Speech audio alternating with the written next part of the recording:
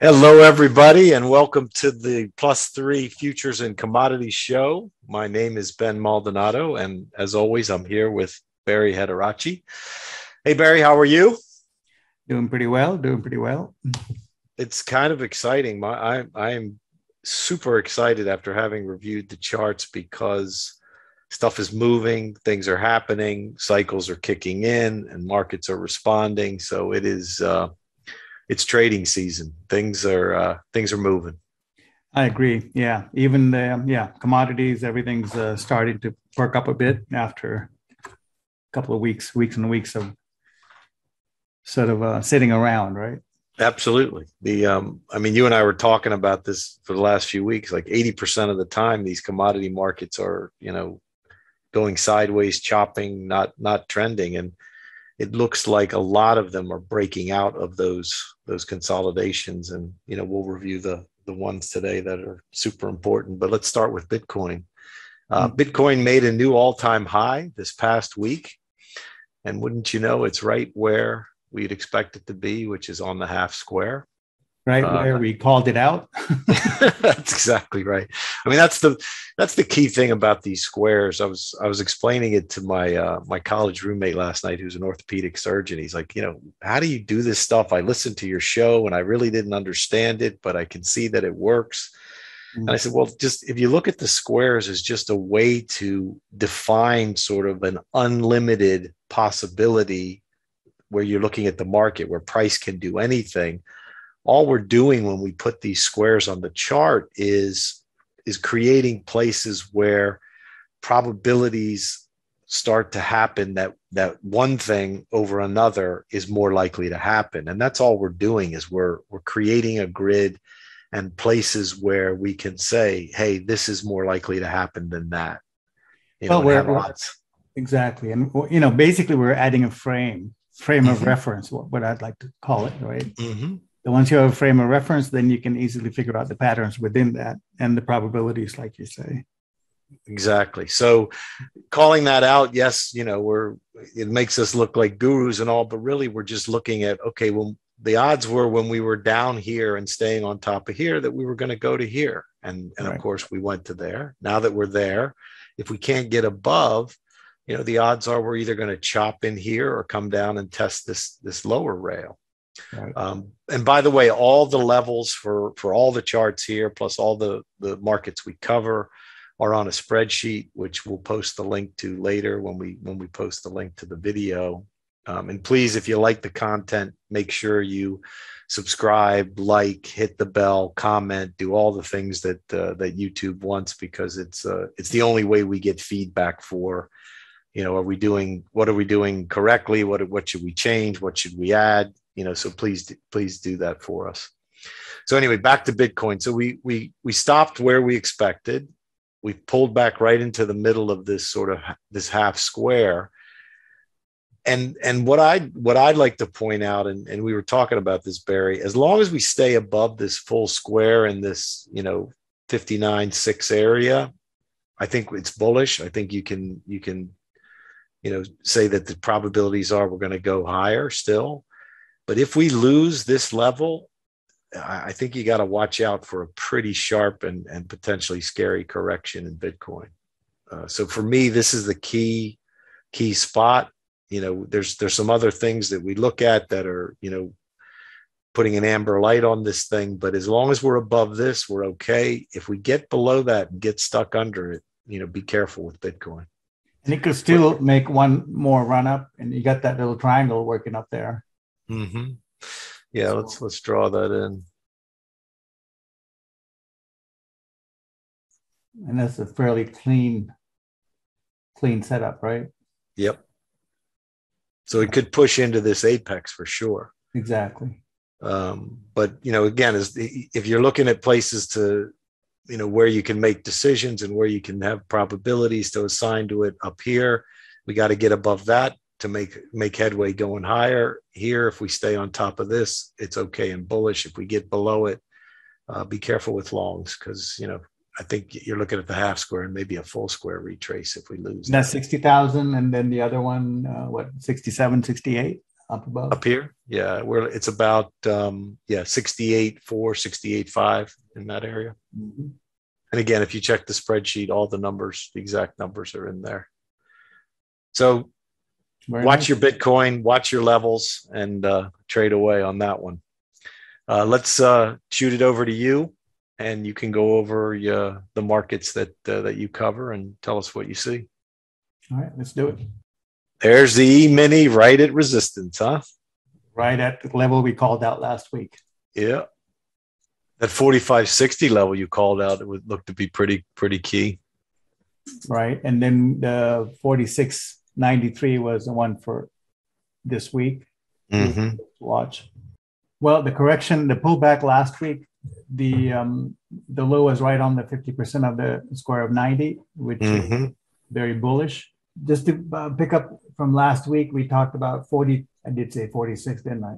Mm-hmm. There we go. And and that's where pretty much we you know we tried to get above that. We tried a couple times and failed, and we came right back into the um, into the 50% of the square. So mm-hmm. I think mm-hmm. going into next week, this 43.93 hasn't changed much. We're going to use that as sort of the uh, balance point. 46.93. 46.93. Yeah. Yeah. Let me get the numbers right. so we came into support and we're rallying back up. 46.93 is a key level to watch uh, as a balance point, meaning that you know softer conditions below and and stronger ones we can settle above it, which we didn't do. You know, we haven't done all these the, the three days we up, up here that we tangled with um, the level was just we really didn't settle above. We were just kind of in it, testing that testing that level. So I would say um, that's going to continue to be a key level to watch. And let's go on to the weekly. It's interesting you have 4693 because I was saying until we settle above 4700 you know you got to got to still say that the the balance is to the downside for more con, you know consolidation chop correction whatever's going to come. So we're in the so we're in a similar neighborhood there. Yeah i think we're in a kind of a correctional um hmm, what would you call it? Correctional window. Mm-hmm. because i was looking at the um, the calendar day chart that we looked at that you know I don't keep track of, and we're not quite uh, well. What I noticed was we looked at the 36 when we got up to here, and we had mm-hmm. a little mm-hmm. bit of a reaction, and you can see um, we have a 45 count coming up next week, right around the 17th. Mm-hmm. So I would mm-hmm. say 17, 18, 19 is sort of a window. and it's not a window to be sort of um, ignored because it's it's a 45 day run off this October low. Right. And you know, we have 45 day blow offs are very common and a bunch of stocks have the exact same pattern. So I think uh, some of those are going to expire at a 45 day count. And these are sort of blow off moves that finish up legs. Again, they don't happen every day. Obviously, this 45 calendar day count is uh, it can only happen once here. So 36 is interesting because we do a lot of 36s, and the next one up is 45. And after 45, there really isn't any, uh, far as blowoffs go, until we get to at least 60 and, and then maybe a 90. So next week is uh, towards the end next week is going to be critical this uh, 17 18 19 time frame mainly because we're making a 45 day run um, up into a high, especially if we get into a high. Mm-hmm. And using S&P as a proxy, you know, here. But if you go and look at in, a lot of individual stocks, they're all running the same 45 um, day cycle. So because of that, I would say we really have to watch it. And if we can't get above 93, or if we get above 93, then can't hold above it, that's going to show that weakness going into that blow off high and that's a nice way to bracket that uh, potential cycle high of that 45 cycle uh, going into next week. So, is that was that clear enough? Makes sense. Yeah, yeah. So towards the end of next week is what we have to watch, and I'll post updates to this on Twitter so you guys can follow through. Moving on to the bonds, um, we left off last week talking about a test of the um, of the range. And we pretty much got exact to the halfway of that range um, and, and, and, uh, and failed. So now I think uh, really the, the bracket to watch would be 160 20 would be support, key support. And then to the upside is 164 26 is, uh, is resistance and we'll have to see what happens next week. Probably go and test 160, 20, and, and that's going to be the key component if we're going to be able to consolidate above that and and and sort of mount another run up, mm-hmm. or if we fail. So I, I see that as a make, um, make or break line. It's 160, 20, and looking at the uh, weekly bonds, pretty much. Um, well, you know, we did a sort of a false break up here through that through that line. mm-hmm. But we're still in this range, you know. It, it, we really haven't, you know, we're not having any huge, any kind of a big run. But what we should keep in mind is we do have good support around 158.20 basis the weekly chart, 158.28. So figure 159. And that's the half square. So long as we were above that, uh, you know, the odds are to the um, odds favor more upside. Mm-hmm. So at that for now. You want you have anything to add to bonds? I'm going to cover bonds too because I, I agree with you. I think it, as long as we can make a higher low mm-hmm. than the, the 11 12 right? low, yeah, there's mm-hmm. a there's a potential for a good good push higher. Next would be crude and crude. But the last three four weeks we've talked about the square that showed up and warned about a possible pullback or consolidation uh, under it and which we've done. And going into next week, really the key support would be 77. And to gain some strength, we have to hold above 82. That's really the number we're looking at. If we can hold above 82, basically, I think we can take the square out. And the fact that we haven't really sold off, but are consolidating right below the square, I think we went into this last week a little bit about market character and behavior mm-hmm. after squaring out. And um, so, being that we're, we haven't really sold off, we're holding a fairly tight range, uh, is bullish. So let's watch that. But up up until you know the market can prove that, which would be, in my in you know my opinion, being able to hold above 82. Uh, I think it could be uh, continued sideways as long as it's between 82 and 77. Right. Even that 77 and, doesn't go, you know, then it'll be a whole nother story. So. And you're also consolidating above those July highs, which is bullish. Right here. Yeah, exactly. Mm-hmm. And that's pretty much where 77 is. So they all line up. It's just in theta burn territory for those of us that live the life of the options trader.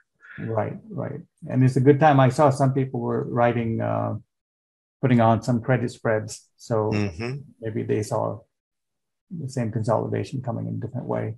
Sure. Uh, looking at the weekly, again, we looked talked about the square uh, some three four weeks ago as it was coming up, and and we were talking about that being major resistance, which it has been so far. Again, you know, it's holding fairly tight. No no big sell off. It's the tightest uh, consolidation so far on the entire leg up so that's to me that that's bullish, even though there is a there is a square that uh, expired at the high, and the way to manage that would be to um, watch these levels. So that's why 82 and 77 are key levels for next week. And of course, if we can manage to um, hold above 82 and take out these highs, then 91 is the next resistance that we have that I have. Gold, ah, what a story, eh? Beautiful. Well, I remember when it was at 1765. he talked about it being key support and and and looking. We were both uh, very bullish, looking for a bounce, and and and there it was.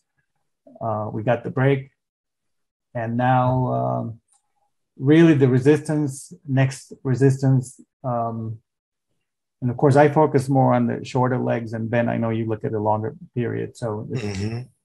for me, the uh, next resistance, you know, really the key would be around 1915, which lines up with the old high in May. Uh, but starting around 1887, so 1887 to 1915 is when you want to watch your uh, positions, long positions, and see what's happening. And And interestingly, right about there is when the uh, midpoint of the fork sort of comes into the picture. So all that is setting up. So far, it looks good. Look at your higher lows going into that. That's the clue always, right? Exactly. Exactly. That's what we're looking for the break there. It's subtle, but not a lot of people pick up on that.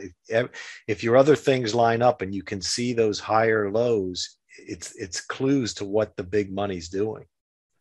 Yeah, exactly. Exactly. Not just you know, every market does the same thing. So it's easy mm-hmm. to track if once you're onto it.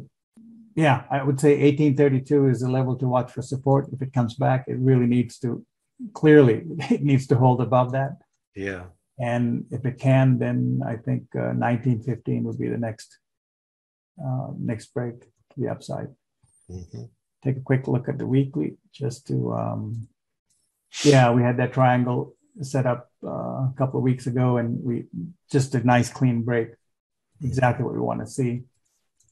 And the upper, the other triangle line that we set up is right around, um, you know, 1897, 18, 1890, mm-hmm.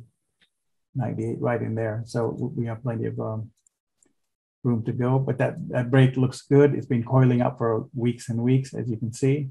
On, I think we talked about this a couple of weeks ago on on the square 52. We made a full square, weekly square, and now we're back at the uh, 50% of the square. So this is the next sort of sticky point, this 8, 1878 area. We really need to clear that. And that is also where that upper line comes in. So to me, this is the area to clear. And and if we can clear that, then the upside is, um, you know, we have your full square, right? Uh, well, yeah, we can have full square and maybe even more, but we, we definitely open up that entire uh, upper half square. Mm-hmm. level to watches would be that this um, zone here with 1878 being sort of the center point. All right. But the, the square looks good. I, I, can't imagine this being another false break, you know, like going up to here and coming all the way back down to continue the triangle. right, right.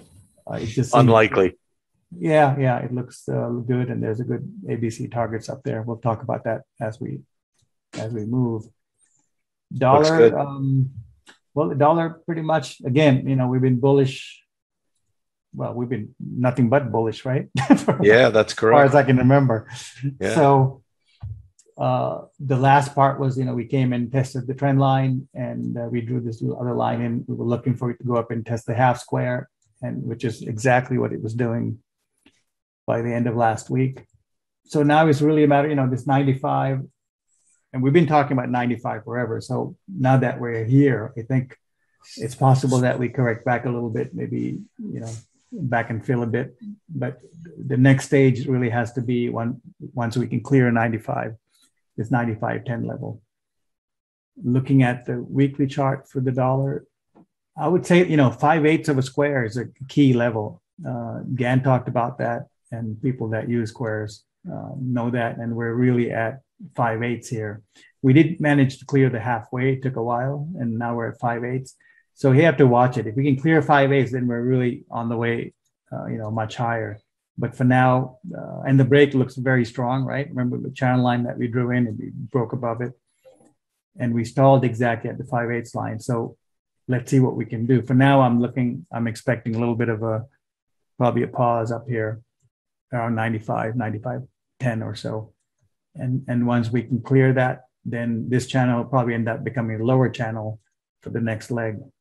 Anything you want to add to that, Benn? No, I think it looks good. the dollar's strong. It's just we're at a we're at another decision point. We have to just see what price tells us here. Yeah, so it's hitting some resistance for now, and those are the levels. So see how that goes. Uh, next, we have the euro, which is, course, doing the opposite and last week we talked about how important this 15, um, 1560 level would be, and that's 72 down from the high.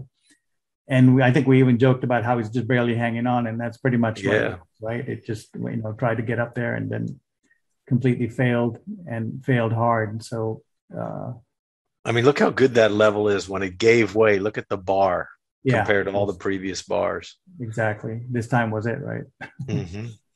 and also before that, you can see how it you know ran up to the uh, bottom of the consolidation, just failed to get through.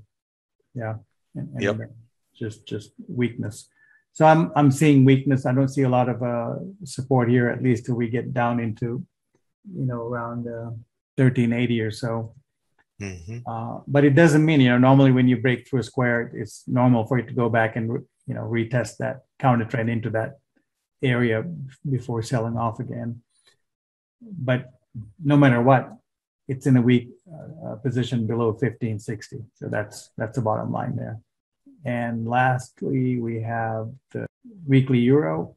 Again, we've dropped this line a few weeks ago, uh, calling that uh, resistance, and it seemed it worked out fairly well.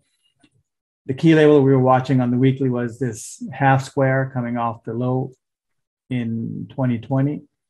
And you can see we sat there for a month testing it, and eventually we broke out. So breaking out on a weekly key support level, you know, it's rare that we just rally off of that. So I'm, I'm looking, I think it's going to continue to be soft below this uh, 1520 actually on a weekly basis. So that's the key level to watch 1520. You know, we should uh, slowly trade lower or maybe even faster. we'll you know, this is a great example with the strength in the dollar that we've seen this year and, you know, showing up in the charts is how the, the narrative or the, the sort of the common uh, wisdom out there, the collective wisdom out there of, oh, the dollar's got to be weak because we're running huge deficits, the Fed's printing money, the dollar's mm-hmm. going down, and look what it's done this year. It's uh, it's a perfect example of how you get misdirected if you just follow the headlines. Exactly, and that's why you know technicals really. I mean, without technicals, I don't know what we'd do. Mm-hmm. only way to be sane, right? Stay sane and and sometimes the stories uh, sometimes the stories back you up sometimes they don't. So right. but technicals are always neutral. Mm-hmm. well that's all i have for this week. Let me put it back to you. Cover the commodities. Excellent. Nasdaq's looking uh, looking pretty good. Yeah it's hanging in there. I mean what what i've done similar to your uh, your es chart right? We went up and we tested this full square here three four days tried to you know probe it see if we could get above it just couldn't do it. Had the first move down. I put a trend line in now because we reversed up. The key is going to be what happens if we get up here right? If we get to this you know 16 350 340 area can we get above it? If we can get above it you know you're looking at new highs. If we can't um, you know i've drawn in a just an abc target down here which interestingly, if we, if we, let me pull it up a little bit, not if we do, let's say we fail up here, look at where the ABC would target, not only the half square, but right on top of the highs from August, mm-hmm. September. Well, you know, it's possible we counter trend up into this 18, 19 um, area uh, into that time. Right. I mean, look at the full square timing here, yeah, November 17th. Yeah, 17, 18. Yeah. yeah. I think that three day window there is key for next week. And if we rally up there and can't take out the high, sets up a nice lower high. So, yeah. Yeah. mind. So if, if we do get the lower high in reverse, minimally we should do an ABC. It pot- has potential, obviously, to be something bigger. But let's first see what happens when you know when this counter trend ends you know, and where it ends. We had a mm-hmm. nice, nice bar on Friday, but let's see, let's see what happens when we get in that resistance area. So, um, anything else to add on Nasdaq? No, just your square level uh, above. So we, what's your full square? That's right up above. Yeah. Yeah. Here you're t- so you're talking about that 16, 342, 16, 340, 16, 350 area. Got it. Okay. That's good. That's key. Mm-hmm. So here's the 30 year. Uh, I'm pointing out the 30 year. Barrie reviewed the 30 year. One of the things that that I noticed in in um, in looking at this is we've had this this nice channel on the, to the upside with a series of higher lows. We did fail at the full square here, which you know Barrie showed, and pull, and we've pulled back.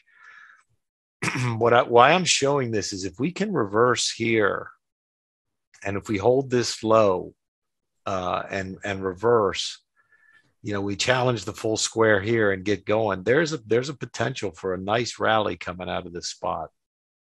Um, I don't think it's it's huge odds in your favor that it's going to work yet. We need more information on price data. You know, we want to see a reversal here off of this. With this low holding, we want to see reverse up and then take this out. But I wanted to show it because the setup is there with a potential for you know a decent fast type move uh, if we can clear this full square.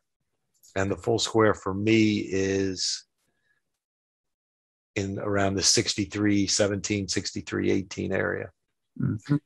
so and again all these numbers and, and levels are on the uh, the spreadsheet please make sure if you if you enjoy the content you find it useful you you like and subscribe and hit the bell and all that on youtube hey Benn i, I just saw a uh, pretty classic pattern here if you connect the two uh, september lows right there low to low i see here to here yeah yeah, now draw that out. Right. You see that apex?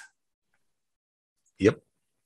Okay, so normally if you know if a market breaks down and comes back to the apex and sells off, that usually is, is very bearish. That's why it's a good point to it's a good place to sell the you know to get on a sell position. True. Uh, which is in this case happens to be exactly on your square. Yep right? That see where mm-hmm. the two lines cross. Yeah, yeah, yeah, right here. Yep. Now, if we if it doesn't sell off and we go back and take that out, that's very bullish. So I think when you were talking about that, reminded me of uh, hey, that pattern's in place. So if we take it out, it's probably going to run. There's no question this is the key level, right? The now we have another, you know, it's like another piece of evidence, right? Yeah, the 63 17, 63 18 is key. Mm-hmm. So first we have to hold this low, right, and reverse up, and then then we have to beat this. So that's what I say. It's not there's there's no high probability trade set up yet. I just wanted to show how it's developing, and this week, you know, we should get more information that tells us, you know, which way is the highest probability. And that apex trade is usually it's bearish till it's taken out, then it, becomes, turns very bullish. So, mm-hmm. Mm-hmm. good point. Next one we want to look at is is wheat. Uh, last last few weeks we've been highlighting the grains, and we had a fantastic week in um, in the grains, including wheat. And wheat has just, I mean, as you can see from the chart, it's been a stellar performer. I mean, from the the June June slash July lows in 2020, it's just been a nice steady grind higher, and it's picking up momentum. And you can see that from the slope of these trend lines. You know this shows you momentum is picking up. We could even draw another one in here and it's even ratcheting up more. Um, the reason i'm showing wheat is the high came in near resistance you know which is this full square here up at around you know 829 830 and and much like Barrie showed with uh, with crude oil we had some very important square outs here you can see from a timing standpoint, there's the half square, and obviously we made the full square in price. So what what I'm interested in doing now, and, and I'm on alert for, is what's going to be the reaction off of this? Is it going to be a chop sideways? Are we going to get a sharp pullback? Um, I'm inclined, based upon the the strength we saw going in here and how it has just been, you know, while the other grains, which you'll see corrected for the last, you know, eight nine months, six eight months, this thing's been strong. I'm I'm inclined to think it's going to be more of a chop and a consolidation, but we have to let the market show us and the market tell us. So I'm aware of where we are, you know, time and price here. Um, if you have a wasting asset like an option where there's a time decay, you know, you, you need to be concerned that you know if we if we even if we're not weak price wise, if we just chop around, that's not going to help your option. So uh, I just wanted to point point this out, show it, you know, in real time before it starts happening, and and let's see how this this square resolves and this high resolves. Uh, anything to add to that, Barrie? I know this is something you always look for. Well, I think that's a good assessment, um, and there are a lot of uh, small squares and and time cycles expiring right in here. So it's a thing to watch. The I think to the upside, you really want to see if we can clear 827 which I think is pretty much uh, at your square there. That's right. Yeah. And if we can clear 827 in that area, I think then we're in good shape, which should get us into the next square up. So as long as we're below that, what you say applies. You know, obviously it, it's consolidation or correction mode. Exactly. So mm-hmm. that's we. It's been a terrific performer for us. We're super happy with it. Just sort of keeping an eye on it because of these uh, these price and time relationships that we have here. Did you see these on the weekly too, or just the daily? Weekly is pretty well set, right? This is more of a minor thing you're talking about here. Yeah, there was there was a square on the uh, on the weekly from uh, late June of 2020. So it, it's it's something to to to be concerned about in terms of watching and seeing what what kind of reaction we get, if any. I mean, like you said, if we can go up and take out that high, there's no no worries, right? We're, we're exactly continuing to run, but it's definitely on the radar watching this week to see you know if there's any significant reaction. Very good. Here's corn. Now, as you can see, the pattern in corn is very different than the pattern in wheat, right? We had a we, wheat was basically just a nice steady grind higher this whole time here, uh, from from June of 2020 all the way to present. We made a high in April in corn, you know, sharp move up and a high, and we've had a pretty significant pullback both in time and price. You know, we've come down basically three squares. And now we're making progress here. We broke out of this downtrend. Uh, we had this false break here, made a higher low, another higher low. We're coming up to the top of the square. So corn is looking, continuing to look bullish. Um, we need to take this level out uh, if we're going to see, you know, continued progress to the upside, and that's around uh, 590. Uh, that's that's the next key level to the upside. I like the way it's acting. I like all the the places it's turning. You know, you can see we found support here on the half square. We found support here on the full square. So corn looks bullish. Uh, we're watching the next level, important level we're watching is this 590 level to, to see if we can clear that. Um, anything else you have to add on corn, Barrie? Um, I think you covered it well. We still kind of have a sort of a shadow of what's happening in wheat happening in uh, corn uh, far as squares go, like from last year's lows, mm-hmm. uh, April lows at least. I think we're what do we? Um, uh, we're running 405 days, so that's 360 mm-hmm. Uh, plus 45, so four square and a half. And from the high that we have in May, we're running 135 days and this is lining up next week. So that's something to watch. It's possible that we have some kind of a correction off of that. Sure. But the other side the flip side of that is if we continue higher through that kind of a cycle then you know upside is wide open again. Absolutely. We can go challenge this not only the full square but that trend line that downtrend line from those two highs earlier exactly. this year. Yep.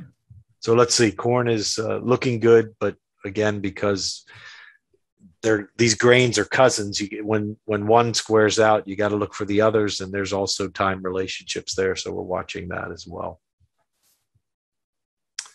Here's the laggard of the group, which is soybeans. But even the laggard is is showing some some decent price action here the last few days this week. Uh, what we had here, which was very interesting at the half square, we had a nice low came in, got the first reaction up. Then we saw this weakness and just like they do in most markets at big turns, there's a false break at the low. So you get a false break at the low at our half square support. That's usually a very good low to trade off of, a good low to use as an anchor that, hey, maybe something ended here. And we do have some time counts and price relationships where something ended there. What I wanted to see, the first thing you have to see when you get that is can you get over the next resistance level? Well, the next resistance was at at 1240. We closed at 1243. So we're not way above it. It's still sort of in the vicinity. It still could drop down next week below that. So I'm watching this area here. Can we stay above 1240? Can we push and then come back and sit on top? If we can, can we take out this previous high here? you know, from earlier in October around 1267. A lot of work for beans to do, but it's starting to show signs that uh, this low looks like a good low. Um, anything else you have to add on beans, Barrie? Uh, no, I think that sums it up well. Yeah, so we're watching the levels, uh, seeing how price acts. But I tell you what, though, looking at the uh, trend line and the, squ- the square setup, the, the move could be explosive, right? It could catch up very quickly. Yes. Yeah. Yep. And which is why I want to highlight it because that mm-hmm. you know you're if, if, we catch this corner and it's a good low, the move out of here could be really really uh, profitable. Right. As Barrie covered gold a little bit, I just wanted to show my view on gold because uh, this was one of my favorite commodity charts last week. It looked poised to go, and and it did. Uh, as you can see, the what we what we this pattern that you'll see in a lot of these commodities that when they're consolidating before they break out. And remember, this thing's been going sideways to down since August of 2020. So it's basically been wearing out all the bulls, just grinding lower, grinding lower. Every time it it looks like it's done, it comes back and makes a lower low. well, we stopped making lower lows here this year in August. Higher low, higher low, higher low, and then there you go. So it, it's just something to look for when you're looking at these charts. Look for these patterns and then start looking for other evidence that may support the fact that these higher lows are coming in after a period of you know lower lows and lower highs because uh, then you can catch this kind of move. Key level as Barrie said is this 1834 1835 area. As long as we stay on top of that you know we have the the half square certainly is open uh, which is about 1925 and then after that you get the full square up around 2000 so gold looks good uh, even with the move last week, still looks actionable. Gold's little brother is silver, and silver actually uh, is is looking very bullish. Um, this is this one had more of a sideways correction from the the whole August, the previous to high in August of last year in 2020. You can see it's mm-hmm. mainly been sideways. We had this clear out low, took out this low, took out this low, took out this low right on support, and we've since you know turned. The thing I like about the pattern here is we got above the square, came back and tested the square, could not get below it, and now we've moved back up and surpassed the half square. That's what bullish markets do. And a ABCD would take you right to the top of the uh, next square. Yeah, which is around 26, 26 and change, 2660 yeah. right up here. Mm-hmm and that's the next target right? Because look at look at friday's bar. Remember we talked about this on previous shows. When the low stays on top of the bar on top of the either half square or full square it's bullish. Right. We've got that set up here again. So uh, silver looks good for higher prices. Here's one that's been frustrating traders uh, and you can see why. Since you know since the may high it's basically been chopping around in a pretty wide range the reason I'm highlighting it is this this looks like one of those patterns where the upside is ready to be realized and it's ready to ready to go. Um, first, you can see the series of higher lows that led to this spike that went right up to the top of the square. We pulled back sharply right back to the to the bottom of the square.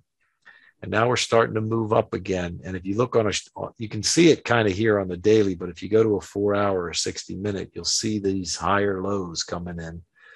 Uh, you know, every time it pulls back, somebody's buying at a higher level. Uh, so there's accumulation going on.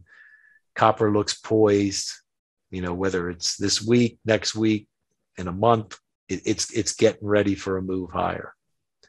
Uh, so the other thing I want to point out, and I, I show this a lot, if you look where these lows have come in, it's just on top of the February highs. Mm-hmm.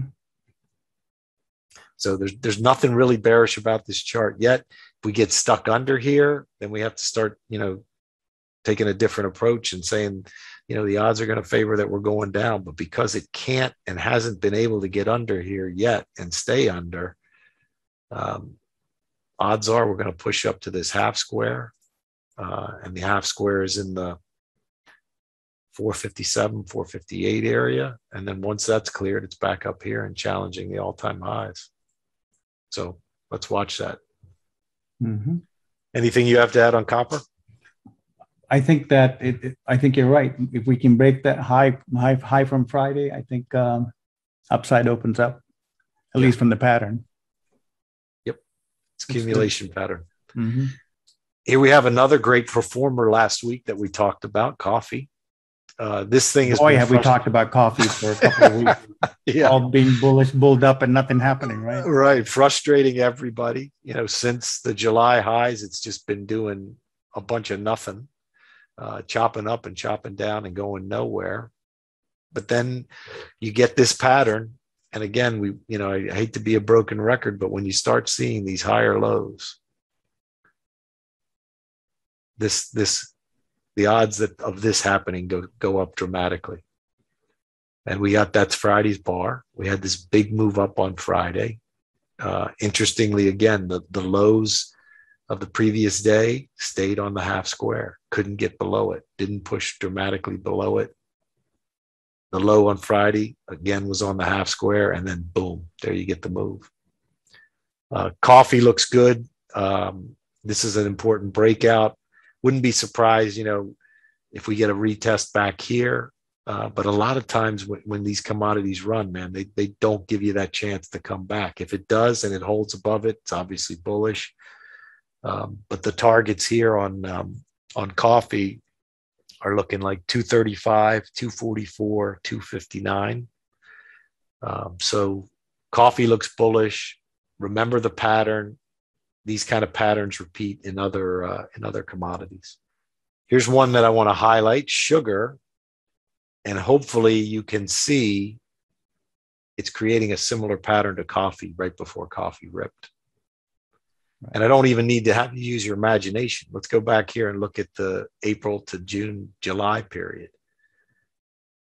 Range bound, range bound, range bound, right?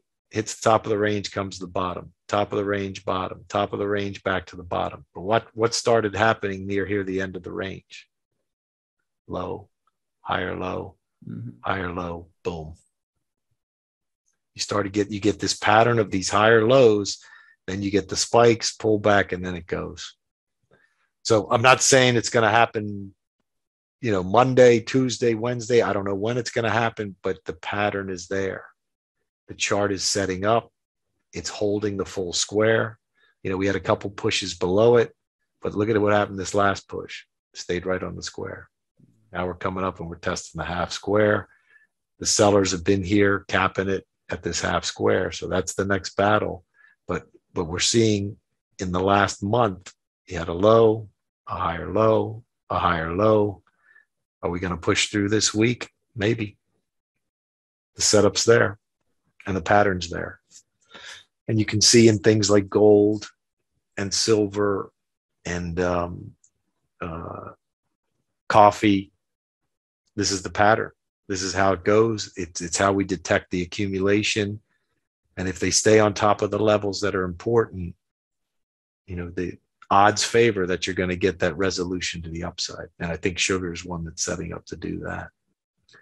Um, any observations on sugar you have, Barrie? Well, it's um, no, just just watching the triangle build up, and you know, again, it's it's like you know we saw in gold and a lot of the other commodities. You know, as it consolidates, building up pressure is winding, and uh, looks like this is winding up. I mean, it's the, the upper yeah. half line is very clear. You know, break of that, it should just snap it at least one square up. the way that's right.